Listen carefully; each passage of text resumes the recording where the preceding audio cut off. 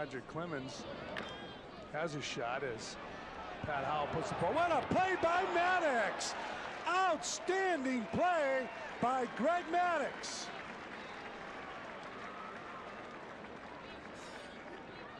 Unbelievable. Well, I don't know how he got himself in position to throw this accurately, but he did, and that is an